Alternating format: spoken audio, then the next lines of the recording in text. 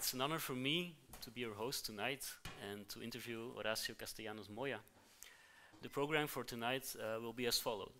Um, as follows, I will briefly introduce um, uh, the writer and his oeuvre. Then he will read an excerpt from his uh, latest novel, Moronga. Afterwards, I will ask some questions, and um, at the end, I will give you the opportunity to give uh, to ask some questions uh, as well. Um, and then afterwards, uh, Mr. Castellanos Moya will be happy to sign your books. Um, it is not an exaggeration to say that uh, Horacio Castellanos Moya, alongside uh, Guatemalan Rodrigo Rey Rosa, is the most important Central American writer of his generation. The son of a Honduran mother and a Salvadoran father, Castellanos Moya was born in 1957. After spending his early childhood in Tegucigalpa, Honduras, the family moved to El Salvador, where he studied literature and acquired his first experience in journalism. At the outburst of the Civil War in the 1980s, Castellanos Moya supported the guerrillas of the Frente Farabundo Martí de Liberación Nacional, working as a press agent for the fighters in Costa Rica and Mexico. Quite soon, however, he would lose his faith in the revolution. His first novel, The Diaspora, reflects this disillusion by portraying a group of guerrilleros in Mexican exile who turned their back on revolution after the cowardly murder of a female commandant. At the beginning of the 90s, with the end of the Civil War imminent, Castellanos Moya returned to El Salvador in order to contribute to the construction of, the free of a free press. In his literary and political essays of this time, uh, of that time, sorry, he expresses the hope that literature can be part of the nation-building process. He says, who said at that time that literature does not describe a country, but invents it. Once again, he was disillusioned um, by reality. His next novels, Dance with Snakes, and even more the widely acclaimed Revulsion, El Asco, mercilessly reckon with the politics and culture of post-Civil War El Salvador. Due to the diatribe revulsion, uh, revulsion, El Asco, he received death threats and had to leave his homeland. Ever since, he has been living in several countries, including Mexico, Guatemala, Germany, and the US, where he currently works as a professor of creative writing. If I explicitly called him a Central American writer, it is because from, from exile he keeps on looking back upon the territory Pablo Neruda famously called La Dolorosa Cintura de América, the delicate waist of America.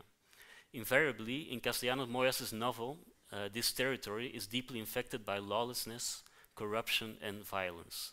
To cite one example, the novel Senselessness alludes to the massacres of the Guatemalan Indians by General Efraín Rios Montt.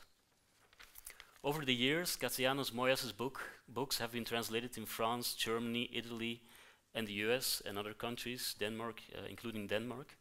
Uh, among other awards, he received the Prix Transfuge du meilleur roman d'Amérique latine for his latest novel, Moronga, which will be our main topic today. In Moronga, the Central American violence has migrated uh, to the US, both in a tangible and psychological way.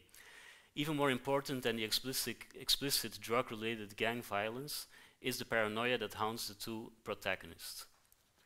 Both José Zeledón, a bus driver, bus driver and surveillance officer, and Erasmo Aragon, a university professor, uh, fruitlessly try to escape their nightmares of guerrilla and civil war.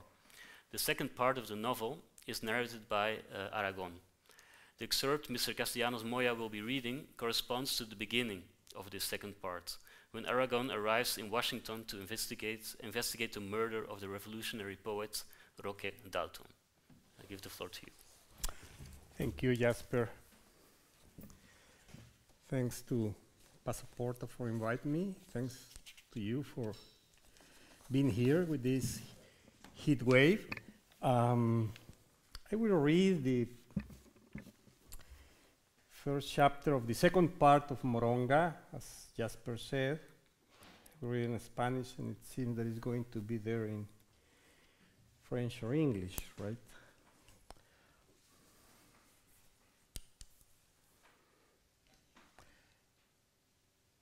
Aterricé a mediodía el segundo dominio de domingo de junio en el aeropuerto Ronald Reagan pese a que me había prometido a mí mismo nunca utilizar ese aeropuerto con el nombre de un sujeto tan criminal e ignorante. Pero ya sabemos que los principios languidecen cuando se trata del bolsillo.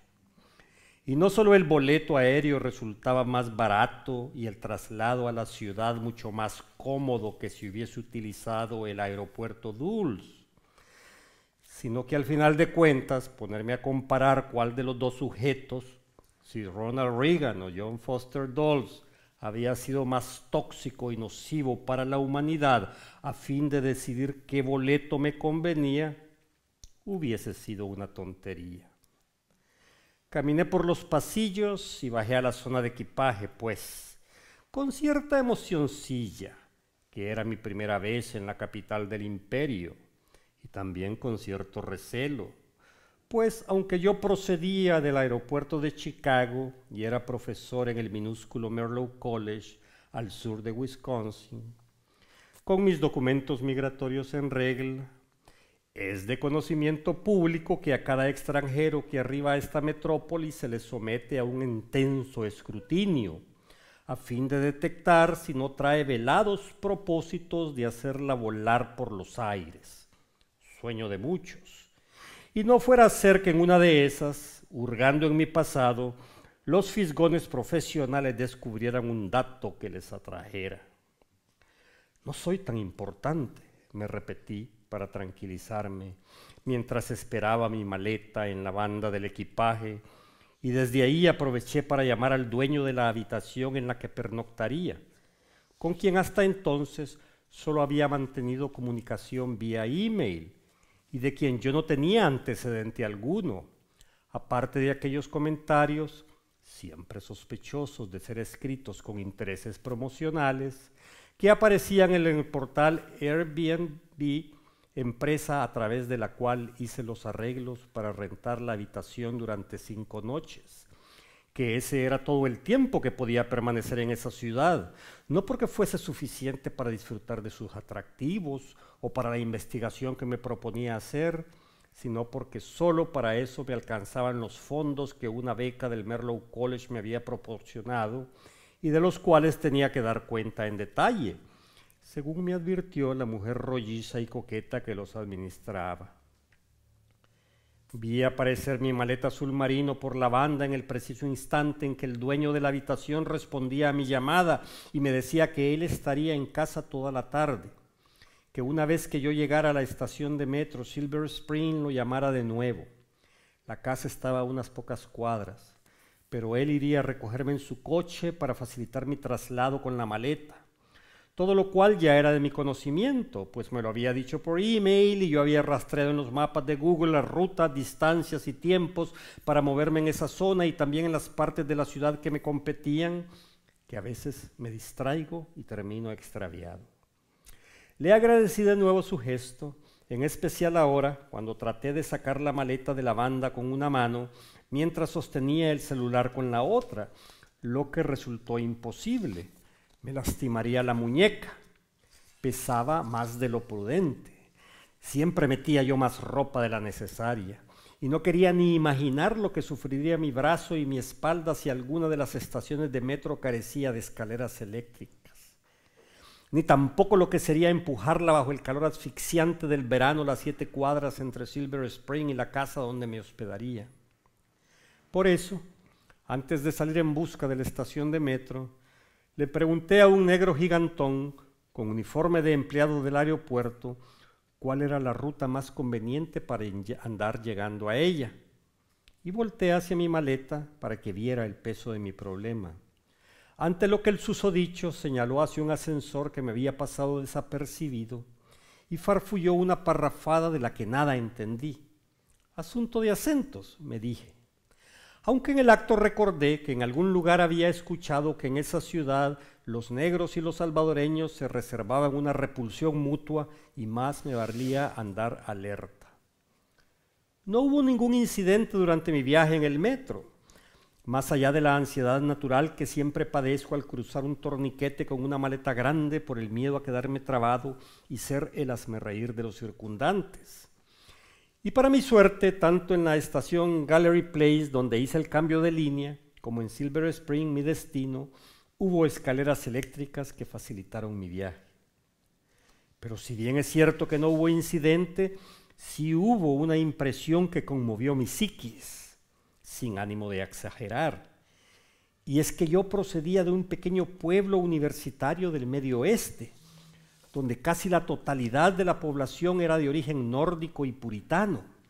Tantas rubias y rubios que uno terminaba confundiéndolos, como si estuviese entre chinos. Un pueblo que de tan chico y seguro uno podía dormir sin echar el pestillo a la puerta de la calle. Algo que por supuesto a mí nunca me sucedió, que a mi edad la sospecha ya se había hecho coágulo en la sangre y era imposible deshacerme de ella.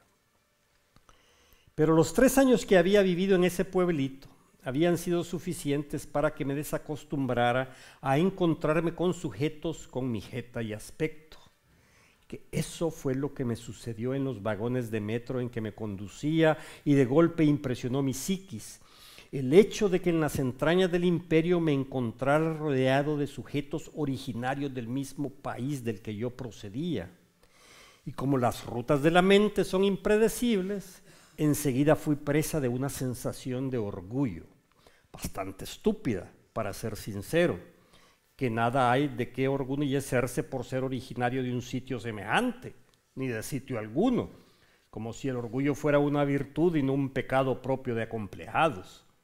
Claro que ya sabía yo que me los encontraría a montones, pero una cosa es la información y otra lo que, golpea, lo que golpea con contundencia nuestros sentidos y hace ladrar a la memoria.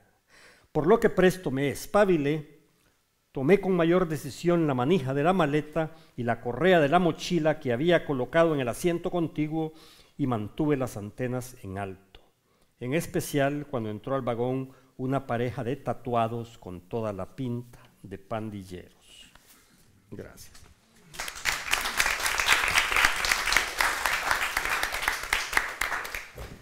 So, as we just heard the, the, the, speech of the second narrator of the novel, Aragon, is some kind of uh, stream of consciousness. Uh, if you uh, watch at the layout of the novel, it's not divided into um, paragraphs.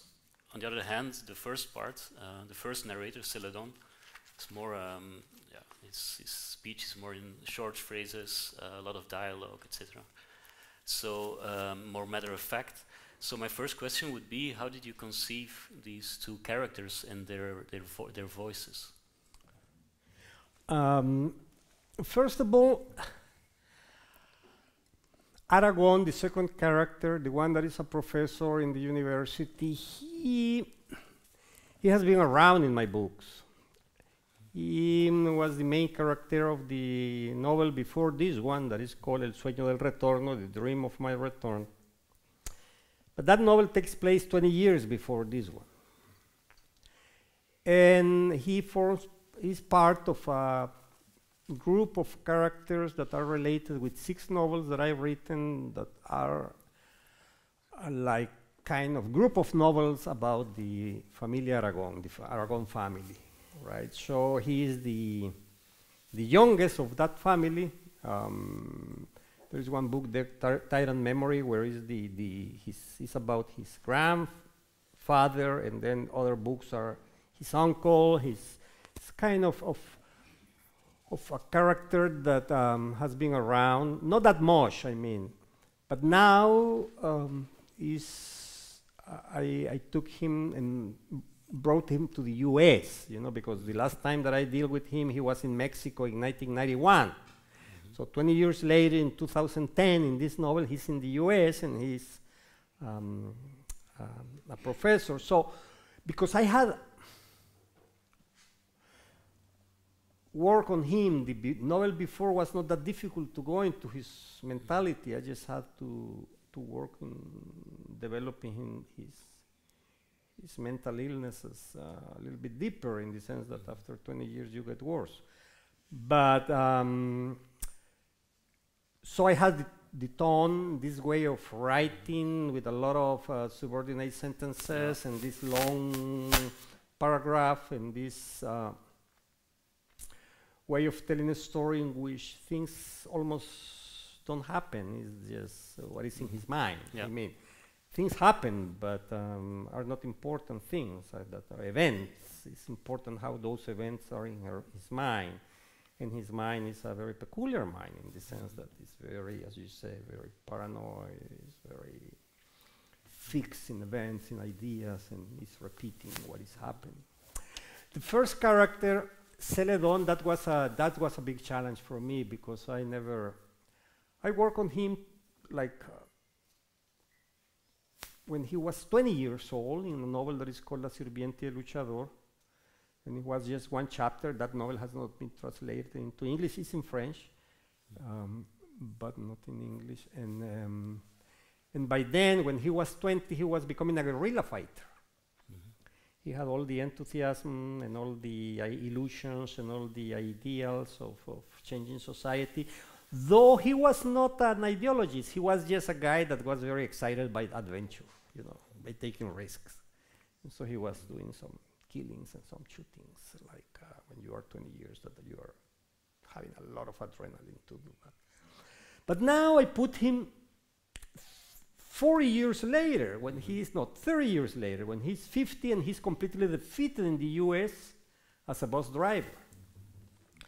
So for me, it was very difficult because the last time that I dealt with him, he, I, I, I, I wrote in third person and was, I was not, was just a very secondary character in a book.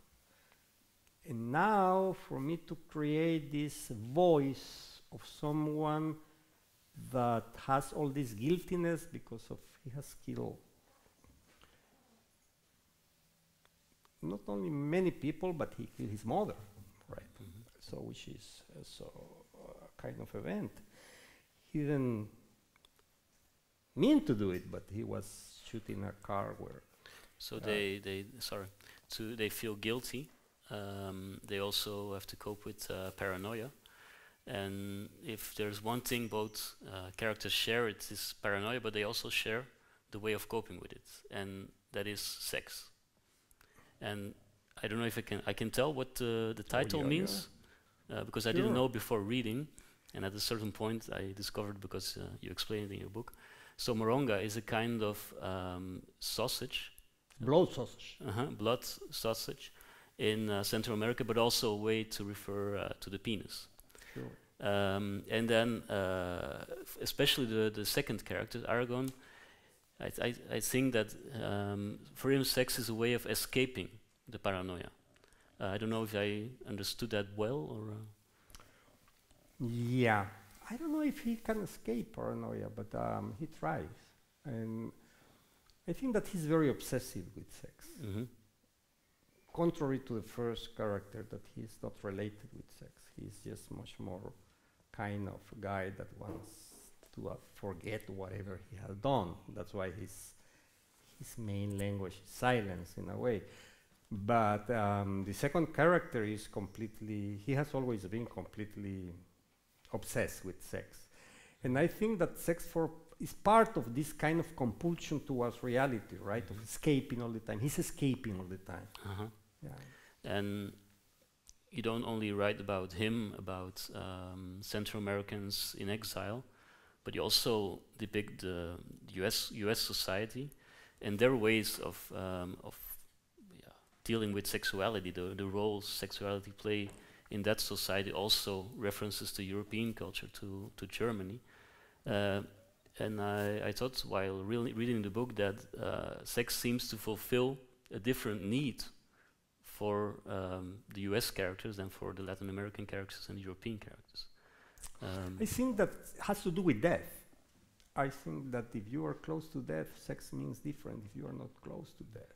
Um, so he, this, this, this character, mainly the last one that you mentioned, he has been close to death with a very high sensitivity, and he has been deeply affected. If you see um, I'm not inventing this. It's like if you go to a war, if you have been, I mean, if you went to Saigon or if you went to San Salvador during the Civil War, if you went to Iraq during the occupation of the American troops, whatever, you see that uh, the big industry besides the war is sex. Mhm. you know, because death and sex are completely, that's a Greek, a, a Greek myth, right? So it's like, So it doesn't really fulfill a different need for uh, an American or for Latin American. It, it depends on where you are. I mean, what you do. I think that um, what the character does there, this character, both of them, is criticize American culture in a Yeah. way, but not criticize American culture in a in a ideological way. It's just a surviving way. You know, they don't they don't understand. You know what I mean? Yeah. The first character don't understand. I mean, these people, why they are like that? Mhm. They, wh- wh- why they surveillance everything? I mean, if, if they don't even know who I am, you know, why I am the surveiller, I'm the one that are in charge of the cameras, and they don't know who I am. I'm, I'm fake. You know, the character that is surveillance is in charge of surveillance. Yeah. The town, the bus driver, he's fake. Mhm. That's not his name. That's a fake. He just got a fake identity after the Civil War, and that's they don't know who he is. And so it's like a kind of reflection on that, reflection on how useless could be to. Yeah. So the one is a surveillance uh, agent, and the other one, Aragon, is a professor, and he's always afraid of uh, Being surveilled. making of being surveilled and um, making yeah mistakes. Um, uh, like uh, seducing students and that kind of things. He's very aware of that. That Yeah. he is like in an enemy, in a, like enemy territory, right? That Yeah. he cannot, he can just not do anything. He has to behave like if he's completely under surveillance in every level. He even thinks when he's taking a shower that there are cameras there. you know, the- so I cannot do this, I cannot do that because there must be cameras there. So he's very affected. And without going into biographical details, but is that something that you experienced in in United States, and you've been living there for a while in the last years, with the outburst of the Me Too phenomenon and all that? Did it change? Did it influence your novel?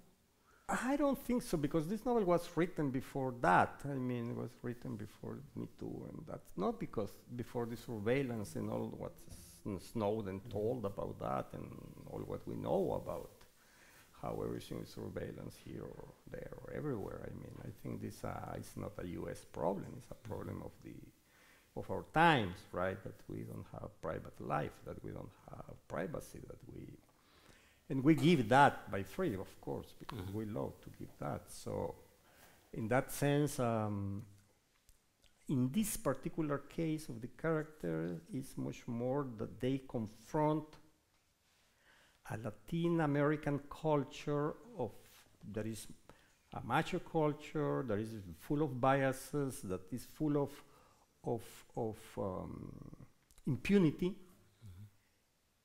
and you come to another culture like the US and they don't feel comfortable.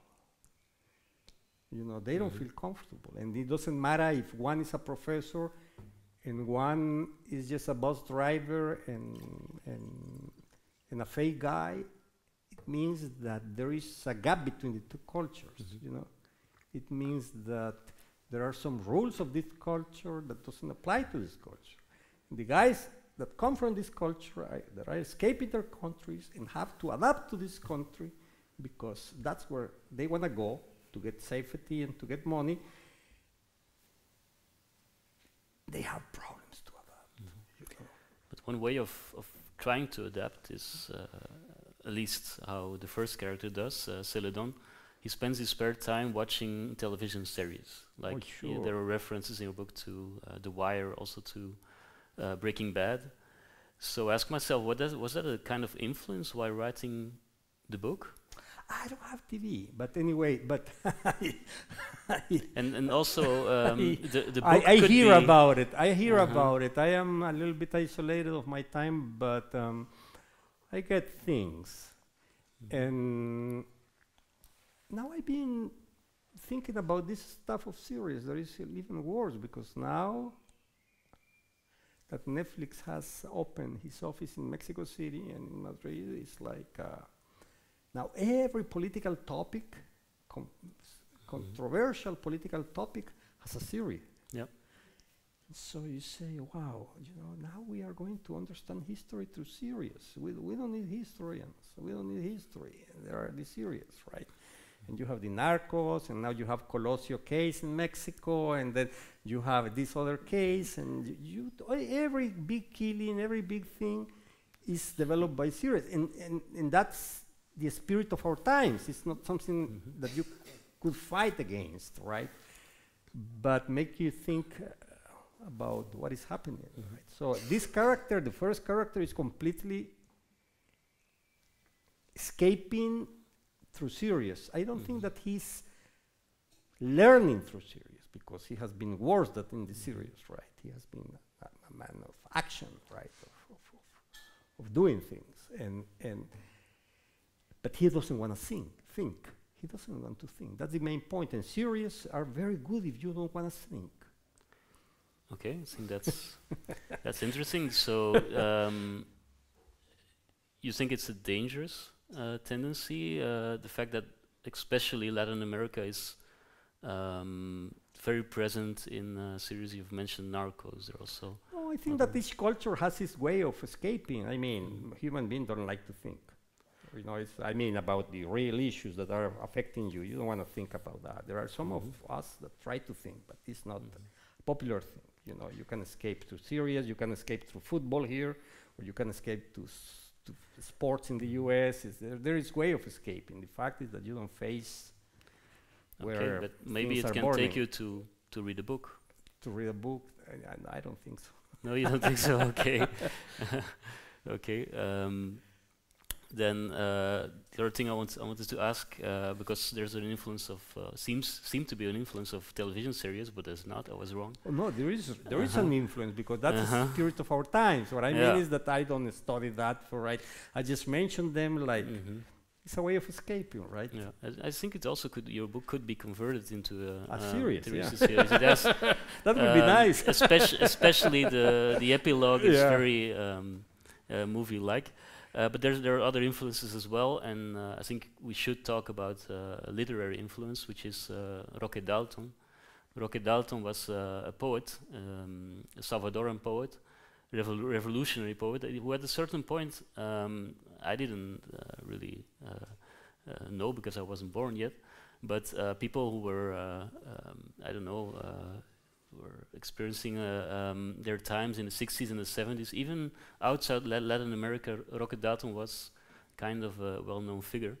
Uh, but then suddenly he, was forgotten, and maybe I don't. I guess in El Salvador it's still uh, considered an important uh, um, writer. Um, but why was he um, forgotten? And is your novel a, a, a kind of attempt to? I've been I've been I mean Roque Dalton of course is the most important poet in El Salvador, but um, and I think he's uh, one of the most important poets of the 60s and 70s in Latin America, right? But he has been forgotten because he was known by his worst poetry Mhm. you know, which means that he was known for his communist poetry, Mhm. but not for his real poetry, that is something that goes deep about the relationship, uh, about the about love, about hate, and about himself mainly. But he had some kind of uh, he was a revolutionary, as you said, but. Um, he's well known not because of his war, but because of the fact that he was killed by his own comrades, right? Mhm. Which is um, something not usual, or rather unusual in, in, in, in Latin America. He's the only poet that has been killed by the, his own guerrilla fighters, accused of being a CIA agent. And um, and that was in 1975, and that um, marked a that was a turning point in the relationship between writers and revolution in Latin America, I guess. Some people don't don't think that way, but I think that way because Roque Dalton was not someone that was around, you know, uh, just supporting a cause. Roque Dalton was a, a guerrilla fighter. He was uh, he was trained in Cuba. He was uh, trained as a, as a, secret agent by the Cubans. He was captured by the CIA in El Salvador. He, he was tried to be turned into a double agent and he escaped. And I've been dealing with all these cables of the CIA that have been declassified, so I have the whole story about it. And, and the fact is that um, because of the political level of his case, his poetry has not been read, Yep. read as should be, right?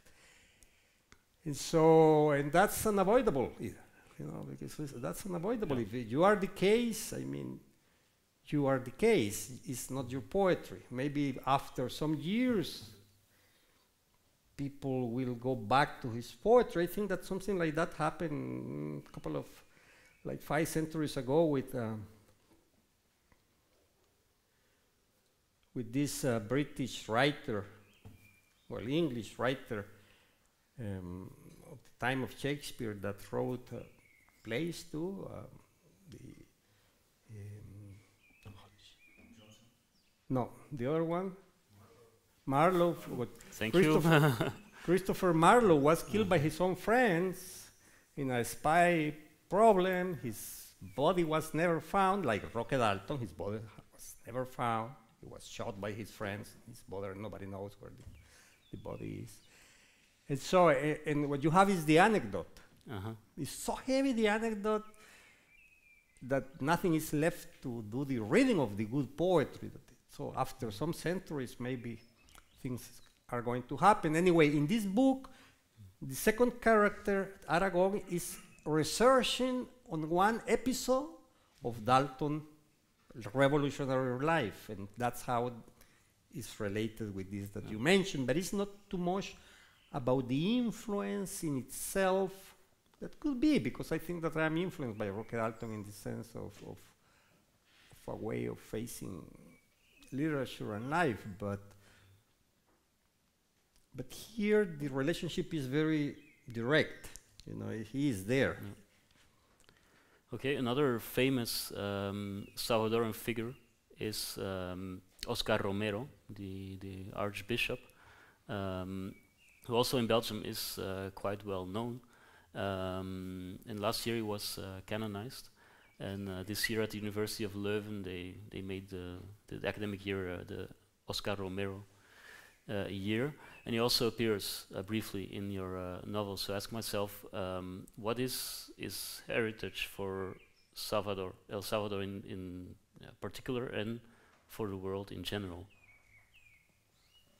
Wow, that's that's a big question. Yeah, it's a big question. But what what can we, what should we um, remember about him? I think that he was, uh, as we say in Spanish, he was a hombre honrado, which is a lot. He was a kind of honest man, and, um, and he did his job with uh, a lot of passion, and, and he was aware that he was going to be killed because his job, and he didn't care. So he was a little. We can say that he was um, very brave, and he was not looking for anything else which is uh, something special, something quite Christian, I guess. If you read the, I'm not a Christian, but if you read the the Gospels, that's very Christian, right? That he was just looking for for doing good. He was not an ideologist. He was not part of the theology of liberation. That's false, completely fake. He was just someone that belonged to the conservative establishment. Then suddenly became archbishop, and all these poor people that was killed by the army came and he just started to be awakened by these people. And, and each, each sunday he say the army went to this town to kill these people these people these people. Next sunday and the peasants were there with him and he was telling the army came here to and he was just like a kind of um, shepherd real shepherd. So he was in his time that he was killed, of course, by the right by the army. But um, the legacy, of course, the legacy of this kind of, of, of person, kind of, of martyr, this kind of Christian martyr is, is huge all the time, and mainly is in the moral level, right? In the moral sphere. But you never considered writing about him. No, I don't write about martyrs or heroes. It's too But, much for but me. in uh, Yeah. senselessness, you do write about uh, Guatemalan. Oh yeah, but uh, you should see that uh, this is the opposite because this guy doesn't believe in anything and he's just completely becoming crazy because he's reading about these massacres, massacre after massacre after massacre. But he's just thinking about drinking and about other things. So it's a very complicated character, the one that tells that story. It's not a, a good and bad story. I mean, there is no good guys and bad guys. The good guys that are investing, uh, doing research in the in the killings, you are not so sure if they are good, right? And the bad guys are bad. That you don't have any doubt. But what I mean is that it's not literature doesn't work with uh, good and evil in the sense of. Uh, of uh, kind of a schematic way. I mean, you know that every human being has evil and good, and every human being could be as good as bad, as depending on his circumstances and his location and many things. So, in literature, I don't, I don't, I don't like these characters that are so, so very clear, you know, Mhm. because there are no shades where to grasp. Mm-hmm. There is a good, I mean, I think that the novel, the, I mean, the book of Monsignor Romero was written many years ago by T.S. Eliot. There is a play called Murder in the Cathedral. That's, Okay. that's the book. um, well, I think outside uh, Romero, um, if, if you ask someone here, what do you know about El Salvador, or who do you know, which uh, famous um, Salvadoran do you know? I don't know if anybody could say a name. Um, and sometimes also in my in my in my courses, I I ask my students not about El Salvador, but, but about Central Amer- America in general. What do you think? What, what images uh, do you connect with uh, Central America? And often we don't know what to say because it's a region that really is Yeah. underrepresented in the news. And the same goes for its literature. Um, traditionally, uh, Central American literature is really um, isolated, has been isolated. Maybe last year it's changing because um, the, yeah, I can give the example of the Nicaraguan writer um, Ramirez, Sergio Ramirez, who um, was awarded the Cervantes Prize. There's also uh, a younger Guatemalan writer, um, Eduardo Halfon, who's gaining some international attention. Um, do you see it as a, as a tendency, or do you still feel that literature of uh, Central America is uh, very yeah, No, Central America is um, region that has kind of exceptional writers. It's not as you have uh, this bunch of Mexican and Argentine writers that you can full a train, and there are still people that cannot get away. I mean, Central America, you have Darío, right? And then Darío is the founder of the modern language in Spanish. Where Darío come from? A little town, nobody knows. You know what I mean? It's like Central America is not because Central America doesn't have the cultural institutions to be present and will never have them, at least in the future that I see. If you see Colombian literature, it's because there are Colombian institutions, you know, the state invests in Colombian institutions or Argentinian institutions or Mexican institutions, and you have the presence of those writers in different places in the world, which is good. Central America is so poor, maybe it's the same Bolivia or Ecuador or Paraguay, but nobody knows. And um, so it's, it doesn't work that way because you will never have that presence, right? And because there is another reason Central America is not a big market. And so, if you are not a big market, I mean, you can have a very good writer, but who cares about if he doesn't have a big market in his own country? You know, it's the way of thinking of the publishing houses because they are doing business. So, I think that the tendency will be the same. There are big exceptions, like Darío. Who is the first novelist that won the Nobel Prize? Miguel Ángel Asturias, I mean, from Latin America, many years before Garcia Marquez. many years before Vargas Llosa, right? And so. But he has also been a bit forgotten, yeah. Asturias. Yeah, but what I mean is that because there is no uh, institutionality that gives you the support to be present. And in, I mean, Asturias is forgotten a lot in Latin America. I think that the place where Asturias is much more well considered is in Paris. It's Mhm. still France, right? Maybe a little bit in Spain, but more France. But Darío is everywhere, you know, and and are exceptions. That that's the way it's going to be working. You know, you mentioned some people contemporary. I'm not going to give any opinion on that because they are people even younger than me, some of them. So, and you know, time is terrible. You know, so time could be the worst killer. So, uh, And some writers um, choose to, to move to Spain or to United States if we talk about Latin American literature, present day Latin American literature in general. Um, I- don't think so. I think that Spain ha- has not anymore the same attraction that used Mhm. to have for Latin American writers. Uh, Many Latin American writers, and I'm not talking about Central America, I'm talking about Argentina and about Colombia and about uh, South American countries and even Mexico. They are coming back. mhm, S- Spain economy is not in the best shape, so mhm.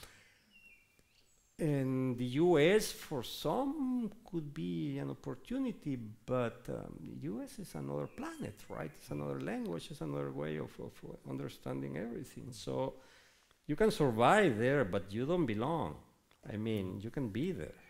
Okay, 12 you years. don't belong, but uh, last week we had um, the Mexican author Valeria Luiselli here, a young Mexican author who, uh, in her latest novel, choose to write in English. Ah, Um, so that's an option. There are other examples as well. There's a, uh Peruvian-born author who's called Daniel Alarcón, good writer, also writes in English. So those who are based in in uh, in America, they they choose to write in English. I think it's are different, guess, both of them, because Daniel Alarcón didn't choose. He was raised in the U.S. You know, Mhm. he was like uh, he was brought to the U.S. very young. I think that in the case of Valeria Luce is different because she's very privileged, so she maybe could write in another language too, right? So Mhm. she's like like the ca- case of Nabokov that could he didn't know if write in English or in French because he, he was not going to write in Russian anymore because was not fashionable. But um,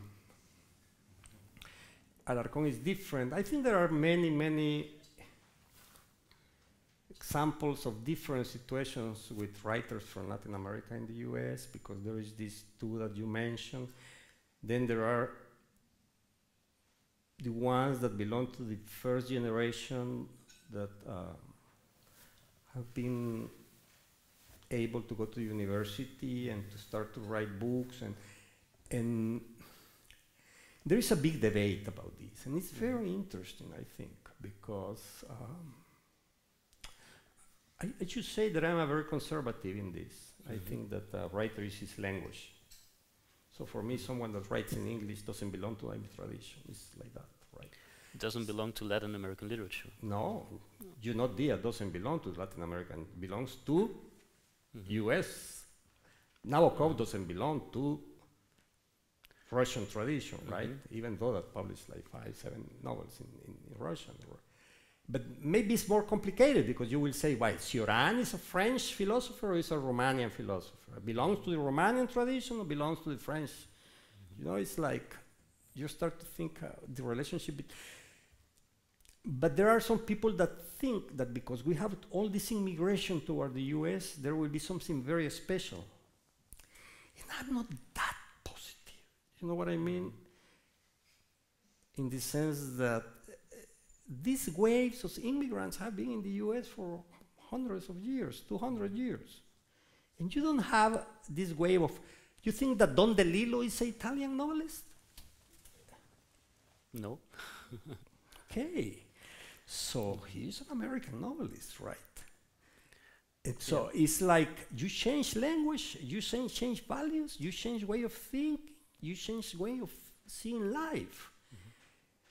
and I'm not so sure, and I don't want to say this, I don't want to go into this too deeply because I don't have too many defined ideas. I just have a lot of questions about it, right? You know, a lot of Mm. questions. For instance, all these Central American new generation of writers that are in the US that what they know how to write is English because they don't know how to write in Spanish. They don't have the choice of defining because the language that they learn in the school is English. They, maybe they speak Spanish because I have this kind of student. But mm-hmm. they, because in, in, the, in the family they, they talk Spanish. But what they handle well is English. You know? And so, are they going to be in 20 years Latin American writers? That's a very controversial question. I'm not saying that not or yes, because it's, it's complicated. But, Uh-huh. uh, we have to see uh, every angle of that. Mhm. Do, do you read them, the, the younger generations? Not too much. No. Not too much. Okay, that's. Uh, I won't ask more. Um, some of them, yes, and I enjoy them. But uh, some of them, Okay, not. Who- who it's not my job. I, I just read the ones that are my job. um, because your generation um, is uh, the generation of writers who were born in the 50s. Uh, we are old, yeah. Which was a good generation. with I also already mentioned uh, Rodrigo Rey Rosa, but there's also this monument who is uh, Roberto Bolaño. Yeah.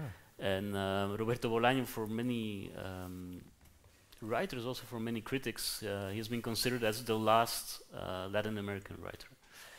So, um, if that's right, if you're, uh, if you think that's right, then you also are part of this last generation of Latin American writers. What we were talking about, the language and these uh, these changes.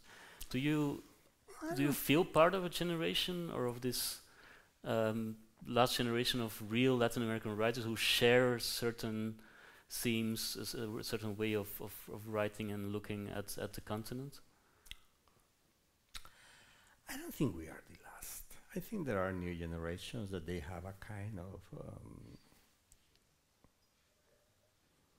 spirit of a group too. I mean, we were not a group. We, when we talk about generation here, we are talking about people that were born in the same period and that grew up more or less in the same circumstances and face reality and history more or less in the same way. And, and in that sense, the ones that were born in the 50s, uh, we have that. We are the last generation that grew up under the Cold War. That's real. That I could say that we are the last that grew up under the Cold War, right? And that was very important for us because we were the, the, the place where part of the Cold War took place. I'm sorry for repeating, but um, but I think that there are new generations. You mentioned some of them that are like Halfon, or you can say Zambra, or you can say uh, there, there are they have they belong to a new generation of people that have grown up in a different circumstances. They don't know this radicalism and this polarization and all this politics. We were the last infected politically generation in a way because we were very political. Why? Because we were born almost at the end of the Cold War, right? If you were not born there and you were born later and you were raised where there was democracy when you were raised, as many of these new writers, there were no dictatorship in Argentina, no dictatorship in Chile, no dictatorship in Uruguay. You know, there was uh, no more dictatorship in Central America, or the PRI was opening everything in Mexico, and you can have the new Paris, if, tha- if those were news. Eh, then you have things in common, right? They are they, so there are. I don't think that we are the last generation. I think that there is there are always new generations of Latin American writers, the ones born in the 60s, in the 70s, and even in the 80s, that um, are conscious of, of, of what they are doing in the sense that they, they define themselves, right? And do you think that for the younger author authors it has been easier to get their books translated um, and that your generation, on the other hand, suffered um, a bit the, um, how can I say, uh, yeah, started to ride under the shadow of the, the boom generation, or don't you see I it that way? I, I don't think so. I think that maybe the market has grown because everything has grown a lot, right? But I mean, if you ask me that question to me, I will say yes. For me, it was very difficult, right? Mhm. But you were mentioning Rodrigo Rey Rosa. This is one year younger than I, and he's from Guatemala, next door. Mm-hmm. And I remember in Rodrigo apartment looking all his translation. I was just so envious, saying, "Fuck, nobody translates me," and, and he has all his books. So it's like you know, it happens, right? S- It happens, and and and of course, if you are a country, let's say Argentina, and you say, Argentina is going to be the guest country in the Frankfurt Book Fair, and so there is a budget to translate our Argentinian writers to German, and so that's different, right? Because that's an effort. And you go that year to Germany, and you will see all this translation, and that's very good. You know, I'm jealous of that, but that's very good. But what I mean that that is going, that is not going to happen in Central. You do it yours. I mean, you, it happened to you by yourself, or there won't be this. Sergio Ramirez, you mentioned here, Yep. is uh, the most important writer alive from Central America. He just won the Cervantes Prize, and he's doing a lot of effort to create some kind of cultural institution in Central America. He has this Centroamérica Cuenta. There is a literary festival every year. He invites writers from everywhere in order just to make visible Yeah. the writers of Central America, which is that gives you an, a, an idea that what the governments cannot do to support anything because they are they have other priorities or they just rob all the money. But um, uh, there is there are things that are done, but mm, that's the situation. Okay, um, apart from writing novels, you're also a, a professor of creative writing in, um, in the United States, in Iowa University. I ask, my, ask myself, what is the most important advice you give your students? Oh, that's easier because uh, for me that's just to look for their own voices. I mean, they have to to find their own voice, to find their own universe, to find their own story, to find their own way of writing what they want to have, what they want to write. So it's much more about. It's not about technique, or it's not about. It's about going deeply inside you and trying to get what you want to say, right? Because for me, that's uh, that's the main thing. For for, I mean, I can. You believe that it's something that you can learn, that you can teach? You can learn to share point of view. You can learn to read. You can learn to how to to write correctly. But the search that you have to do inside yourself, no one is going to do it but you. Right. So, and that's the key, the key point, and that's some people call that talent. Some people call that different ways. But what you have to say to to look for is. Uh, you want to say. You want to say something, or you just want to be famous, or you just want to be part of a business, or you have something to say. If you have something to say, look for it. Everybody has something to say, but look for it, right? And so, I think that that's the key point. Um, well, as I mentioned, mentioned in my introduction, at a certain point, I think at the beginning of the, the 90s, when you returned to El Salvador af- after the Civil War, um, you really believed in the, the social and political power of literature, or wanted to believe in it. And uh, you stated that literature does not describe a country but invents it. Um, now we're nearly 30 years later. Um, what is your view, if any, does literature has a social role to play? Let me tell you this, because here I think that there is a little bit of confusion. When I returned to El Salvador, I didn't return to do literature. I returned to, to found a newspaper and a magazine, and I was director of the newspaper, and I returned to do journalism.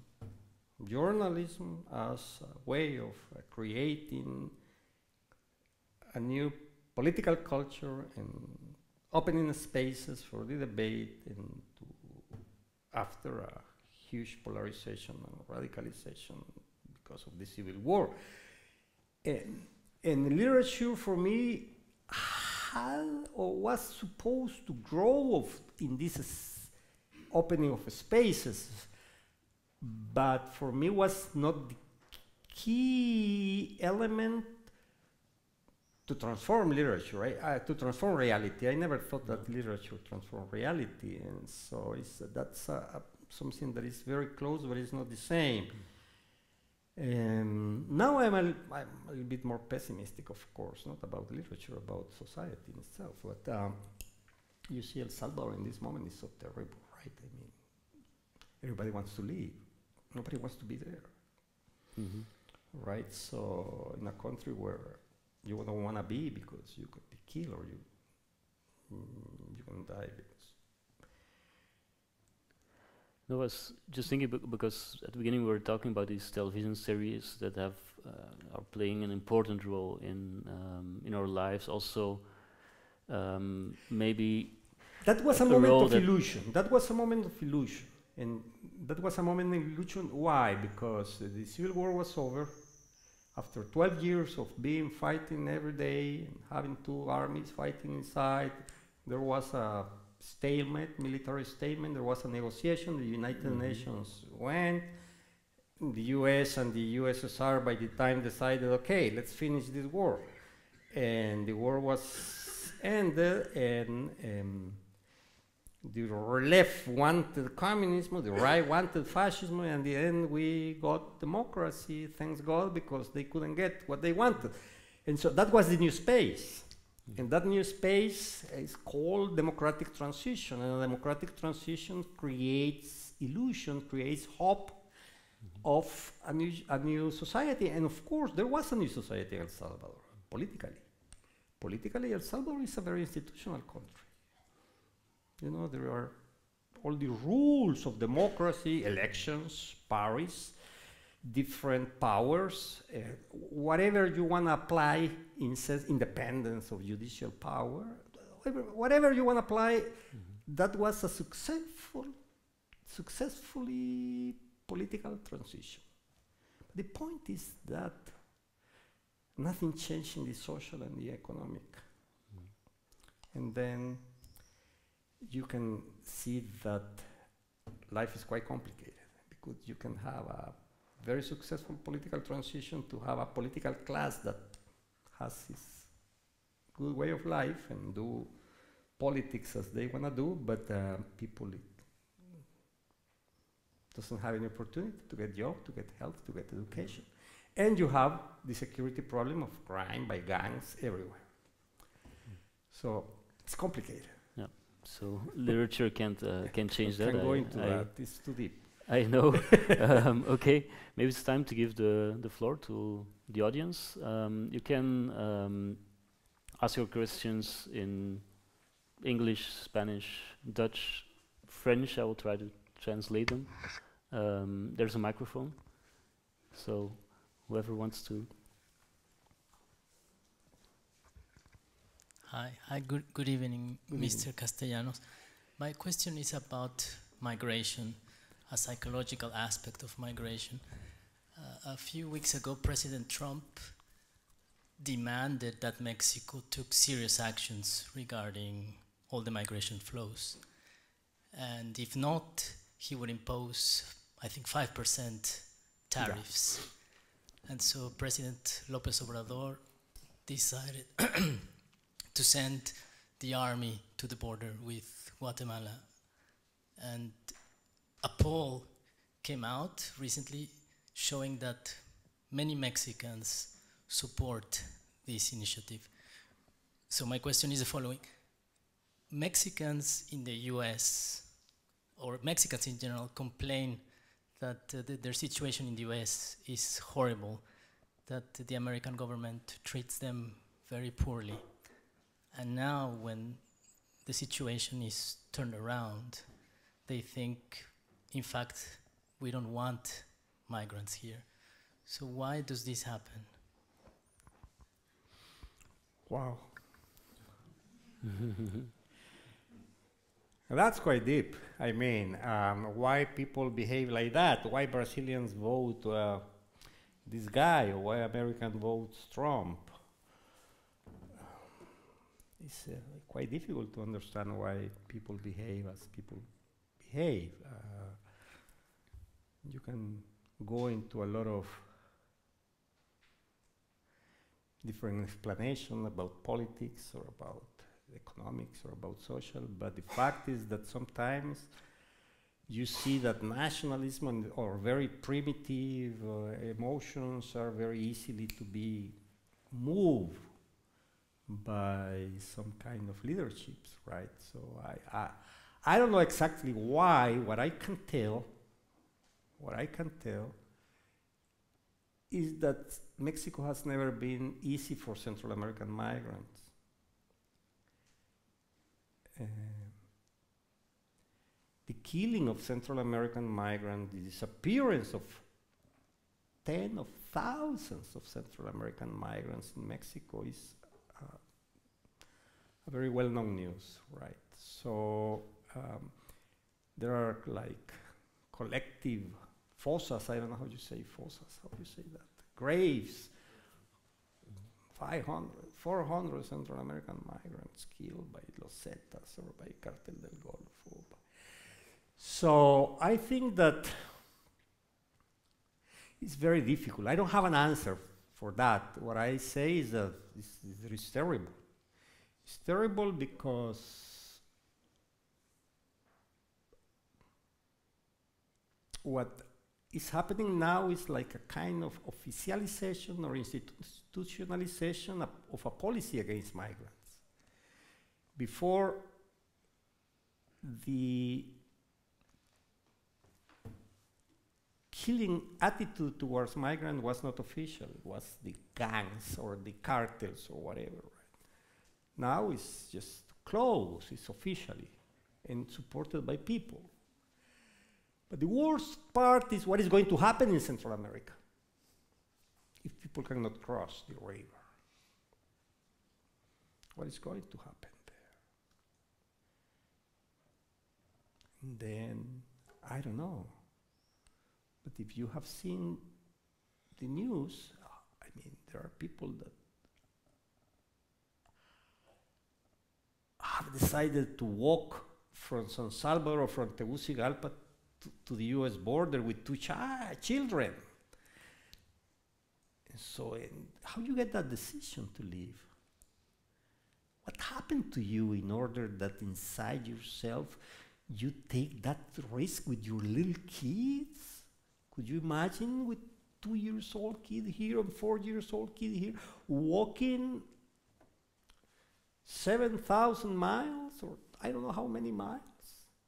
And so what is going to happen to these people now that they cannot cross? They have to go back. What is going to happen to the societies? For me, that's the big question. I don't have an answer. Um, I was just thinking that it's very typical that as Latin, Latin American writers, you get these questions on politics and uh, yeah. social um, topics. Maybe a question about literature.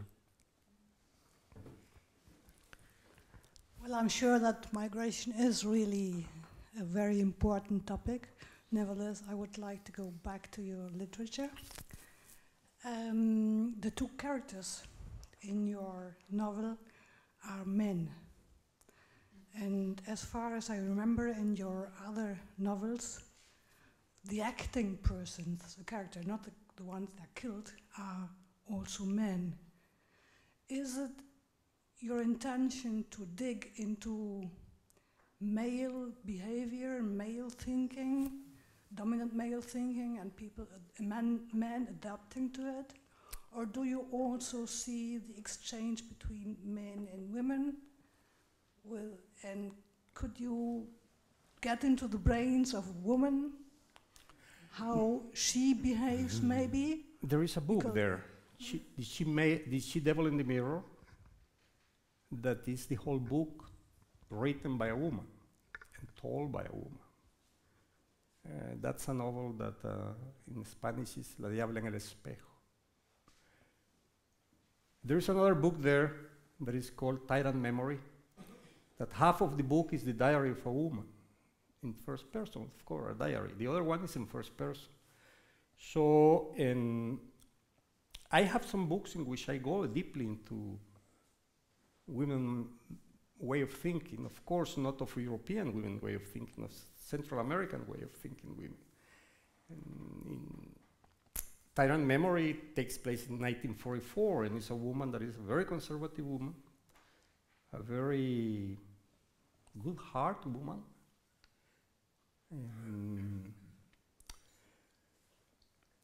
and it's how she changes in his mentality of Catholic woman, and she's uh, a grandmother, but her husband is in jail, and the dictatorship is collapsing, and the dictator behaves very bad with his husband, and so he she has started to organize other women for this fighting against the dictatorship of Maximiliano Hernández Martinez. That's the whole diary Tyrant Memory.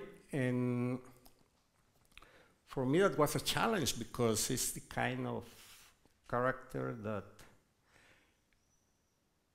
is very far away from you. Not in the sense that I am man and she is woman. No, it's in the sense of values, right? How a conservative mentality could become progressive in a way, right? just because the current of history um, is so strong. The other novel that is the whole novel is, is just one paragraph each chapter. And this is a lady of the, her name is Laura Rivera. There is a French edition, I don't know if they have it here, it's called uh, L'Amor de Olga Maria. And that book she she's telling how her best friend was killed by a guy in front of her children in the living room of her house, just apparently for a rob of uh, for uh, some kind of crime, but was just some kind of shooting, right? He went just to shoot her.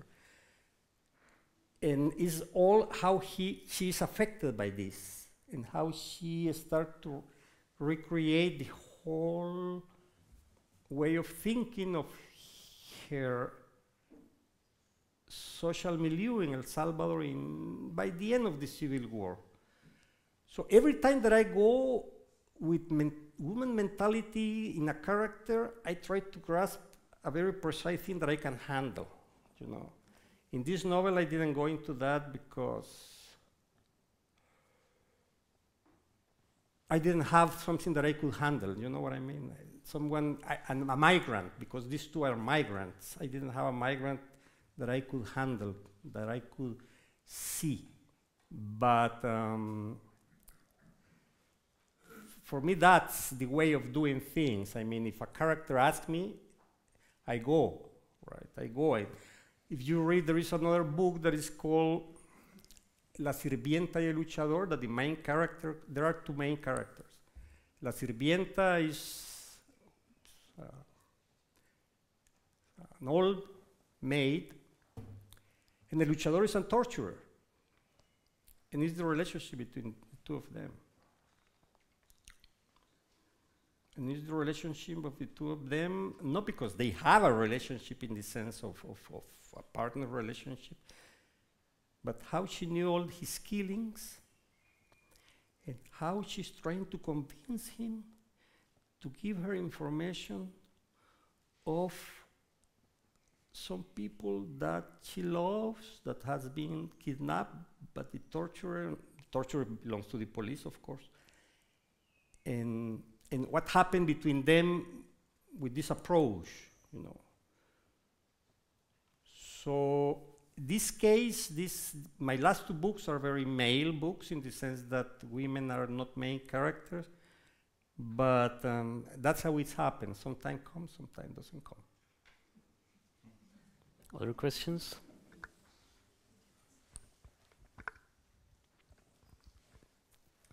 Mr. Castellanos Moya, uh, you said that uh, you say to your students that they uh, should find their own voice, going deeply inside them. I think you have a very specific and original own voice, but it seems to me that a writer also constructs his own voice by reading. And my question would be what books or writers have uh, helped you much uh, or more to find your own voice? Wow. you know what? I'm an old man, so I've been reading my whole life, in a sense. So I cannot, I cannot say which writers have helped me to create my own voice, because I think that writers sometimes they are not aware. Sometimes you are aware. But I can tell you what are my favorite periods of literature in history that maybe can give you some idea of what I read or what I go back to read because uh, and I would say that besides all the commonplaces for me this this literature that was written at the end of the Austro-Hungarian Empire in German, all these writers, Hermann Broch, Joseph Roth, Karl Kraus, those writers that were uh, writing in German, not all of them were German, of course, were coming from all around, were very important for me. I don't know why. Don't ask me. But I can go back to them. Even Stefan Zweig, you know, I can go back to them.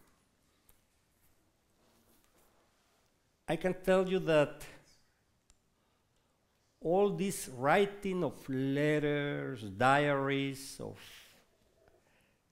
memoirs of the 18th century by French women for me was has, it's all is still you know very important you know that I can go with Madame Sévigné, Madame uh, du Deffand, that I can go with Ninon de Lenclos, but I like this way of seeing life from the court. These, these people were have these saloons where all the writers came and they didn't most of them they didn't write novels but they wrote diaries and they wrote memoirs and they and they have a very peculiar way of seeing life, right? That's very peculiar French history. When I am blocked, I go to Sophocles, right? Because it's my way of getting getting some kind of I don't know. This is the, for me tragedy is the key point, you know. Then Latin Americans, because maybe you want to hear more about our contemporary times.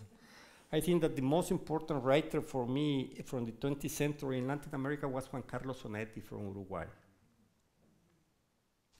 That doesn't mean that he influenced me in the sense that you can find his writing in my writing. Maybe there is nothing of him. Or that he can, you can find something of his personality in my personality. There is nothing of but for me, it's the most important, you know, it's very, this kind of empathies that have not to do with something in common, but much more in differences. And of course, Rulfo and a great writer from Peru, Julio Ramón Ribeyro are for me, of course, writers that I, I, I go back to them, mainly in his personal writings in the case of Ribeiro. Um, then in Central America, Roque Dalton because Roque Dalton is not just about killing. Roque Dalton was a guy, his poetry is amazing. I mean, it's like, I think that he was killed because he couldn't stop laughing. and he says in one of his verse, I mean, the problem of my life is that I can never stop laughing, right? And so, but he laughed at people. He laughed at power. And power don't like laughing, you know? That doesn't like power don't like that. So power is, is so uh, for me it's very powerful that influence that you should laugh at power, and knowing that power will take revenge. But anyway, Okay, maybe two more uh, questions. We have five minutes left, maybe a little bit longer, but go ahead, Mauricio. Señor Castellanos, mm, tengo una pregunta y es, mm, usted me hace pensar en el libro que, que está presentando, en esa obra de Michel Foucault que se llama Vigilar y Castigar, el nacimiento de la prisión. Y me pongo a pensar en eso cuando menciona lo de las cámaras, que están por todas partes, vigilando a los personajes y los están increpando, ¿cierto? Entonces me pregunto, ¿usted cómo, eh, viviendo en los Estados Unidos o que, ha tenido la experiencia, cómo percibe esa, ese vigilar y castigar desde ese nacimiento de la prisión, que digamos que es la época contemporánea en los Estados Unidos específicamente y en todo el mundo, donde todos estamos expuestos, vigilados? me hace pensar un poco también a la obra de 1984, la novela de, de Yeah. Orson Welles. ¿Cómo lo ve usted? you Okay, translate. yeah, well, uh, briefly translate, although I don't know uh, the, the title of Foucault's book in, in English. Uh, but the question was about um, uh, Michel Foucault, who has written a book also about uh, surveillance. And um, so the question was how uh, Mr. Castellanos Moya um, experiences the life in, in, um, in US today and this um, obsession with uh, surveillance, which al- also um, uh, made uh, Mauricio think about uh, um, 1984. That was the, the question. I, I don't think that the surveillance is an obsession only in the US. I think that surveillance is everywhere now, here, there, everywhere. Mm, so it's part of our times. I guess that for young generations will be the normal, right? They won't think about that. that will be part of their lives, or is part of their lives. Um, we that we are a generation that are part of the past, but at the same time have some sense of the new that is coming, have a crisis about that, and think about that. But I see my kids, and they, they are happy of putting everything everywhere, you know, everywhere. And that's uh, as everybody is, right? So.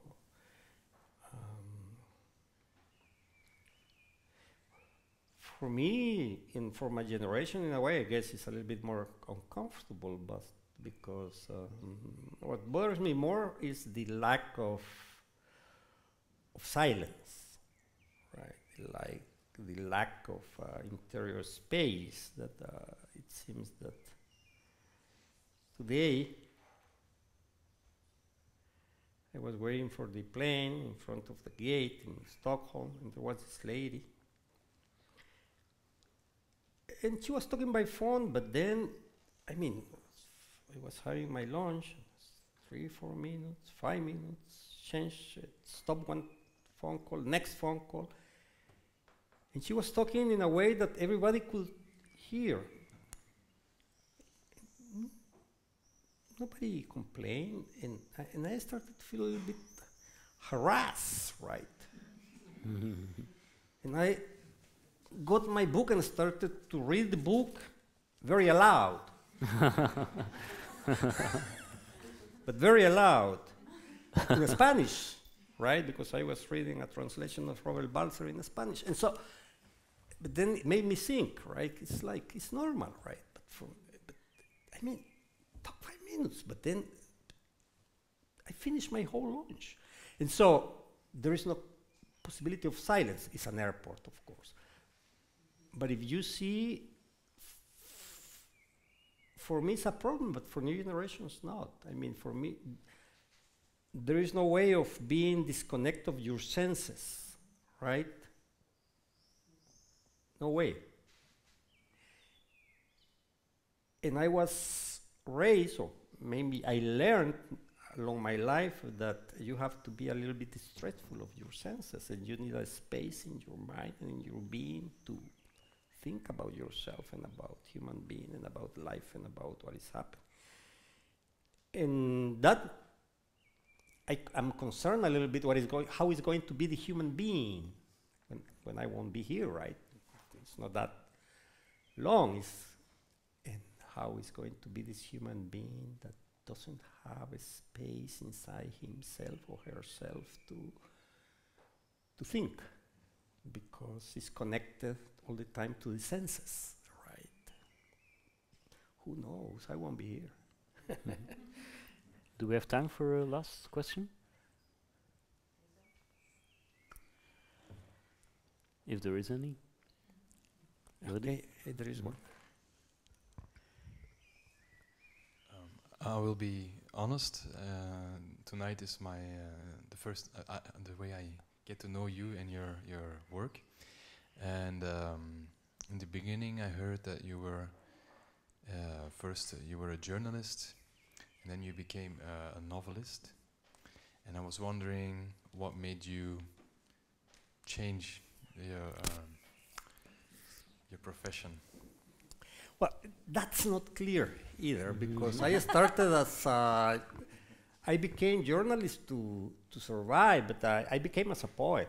I mean, I started as a poet when I was in my 90s, 80s, 18s. I was was writing poetry trying to go to the university to study literature. That's how I started. I didn't. then I got a job as a journalist, right? But for me, journalism was a was a job. As you could work as a policeman, as a judge, or as a doctor, you know. Of course, you need a passion to do whatever, right? So I had a passion for journalism, but I, for me, journalism was political power mainly. But I knew that literature was my issue, was my internal issue, my things that I don't deal, I don't do business in the sense of uh, that I can do it with journalism. You know, journalism, you are part of kind of machinery. And if your editor says that doesn't go because the president says that we are going to lose 40% of our advertisement because that article of yours, you think about it, right? And the editor doesn't think, just get rid of the article. But literature is yours, right? Literature is, inside, is something that where you are free, where you can look for whatever is good or bad inside yourself that you want to tell, and what you see on other people too, and what you imagine in other people too. And it's not something that uh, you deal in the same way. So I didn't do that traditional uh, step of a kind of successful journalist that become a novelist. No, I I was a poet. I was a poor young poet that the only way of getting a job was doing journalism, right? And so, and that's how I started. But I never stopped the other thing, but I never mixed them. No, because there is a case, there, there are these successful cases of people that mix them, like Hemingway or Garcia Marquez, you know, that they are both for me, I'm very schizophrenic in that sense. One is one thing, one is the other thing. Right here, I, I negotiate. Here, I don't negotiate. You know, it's like the way my mind works. So literature is is yours. I think that's a nice quote to to end with uh, and to remember. Um, thanks, Mr. Thanks Castellanos Moya. Thank Jasper. you for your uh, attention and your uh, interesting questions. Um, thanks, Passa Porta. And uh, let's have a drink. Let's have a drink, yeah.